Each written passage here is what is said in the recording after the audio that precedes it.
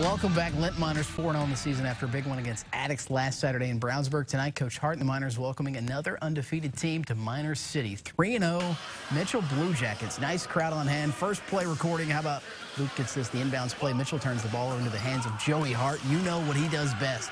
Wide open in transition, flushes that one home. Miners up 7 to 4. Next bucket for Minortown. Logan Webb comes off the screen, splits the defenders. Not once, but twice as nice for the nice finish. Linton goes up by five. They don't just score, they do it on defense as well. Nathan Frady gets the steal. He looks up the court to Webb.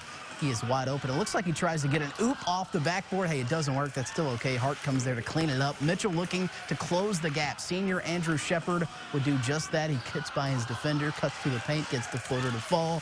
One more for Miners City in the second quarter. Webb getting the double team, but finds Frady wide open from range. He sinks that Miners up 23 to 16. Linton would widen the margin. They get a big win, taking down the Blue Jackets 57 to 42, the final in Miner Country. Also in Greene County tonight, Shakamak hosting North Knox.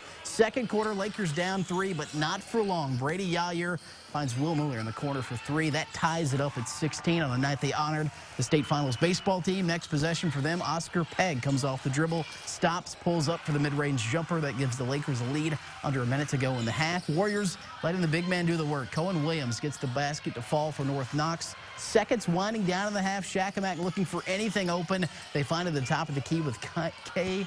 Kanye Wade, he hits the buzzer. He's so good I can't even say his name correctly. Give them a three-point lead at the half. Warriors would answer the bell, though. They finish strong after rebound and transition. North Knox has the numbers. They find number three, Will Sloan, in the corner for three. That gives them the lead, and North Knox gets the win at Shakamak, 40 to 35, the final, Omar.